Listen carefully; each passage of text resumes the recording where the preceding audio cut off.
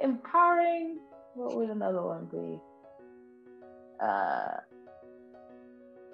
challenging would be another one. I guess you know it's kind of contradictory but rewarding